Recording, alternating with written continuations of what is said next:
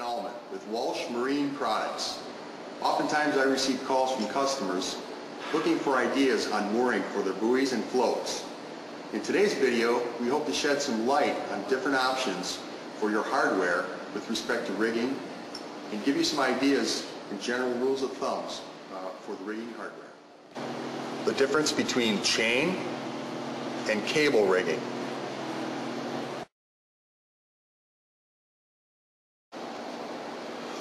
Vinyl coated cable, two thimbles, four cable clamps, one swivel, and one anchor shackle. I'd like to now show you an example of rigging hardware using our 9-inch regulatory buoy and cable. In setting up the hardware using cable, you can see we start off at the buoy itself and the buoy anchor point with the anchor shackle. The anchor shackle is then connected to the swivel. The swivel has already been assembled to the cable using the thimble. The thimble is held into the cable with the two cable clamps. The two remaining cable clamps and thimble would be applied to the anchor at the base or which you would submerge into the water.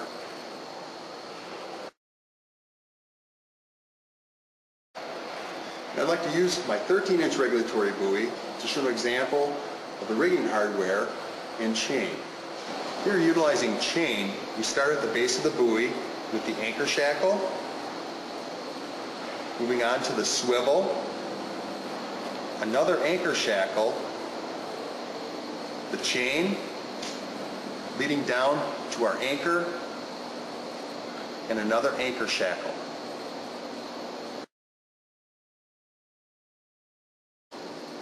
In making your hardware decision, it's important to note the difference between stainless steel hardware versus galvanized hardware.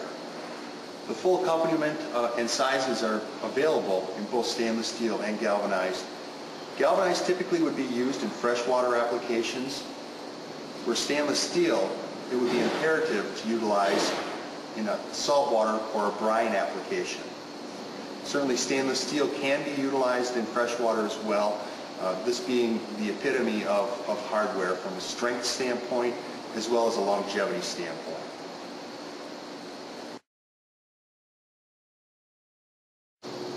At Walsh Marine Products, we manufacture all of our various size of floats in two different models, swivel IMs and pipe. Here I have an example of our 13-inch barrier float in a swivel eye configuration and an example of our 18 by 30 inch float with pipe through. We would like to show you some examples of rigging for these two models. When rigging the pipe through model, as I show here with our 1830, it's as easy as running a continuous piece of cable and stringing the floats on as you would beads on a, a, a bracelet. And then simply putting cable clamps on either side of the float itself. In this example, I have stainless steel pipe with the stainless steel cable clamps.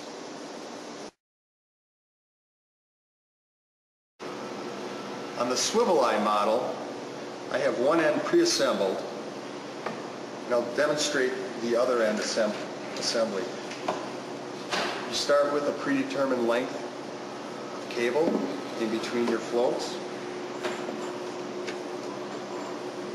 Apply the thimble to the end of the swivel.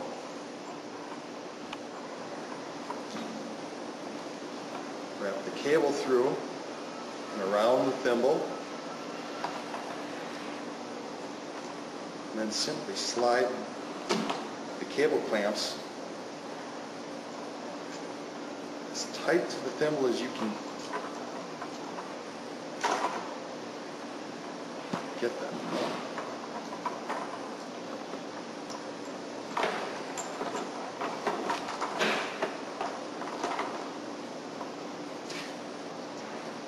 And simply tighten down.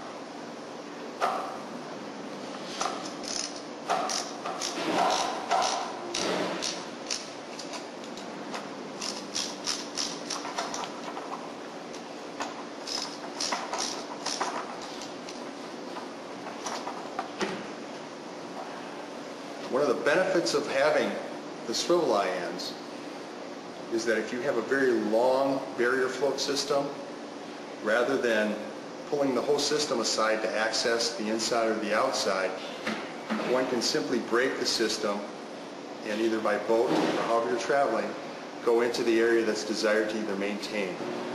Thank you for watching this video with respect to rigging and hardware for regulatory buoys and barrier floats. Walsh Marine Products, we look forward to helping you with all of your hardware and rigging needs.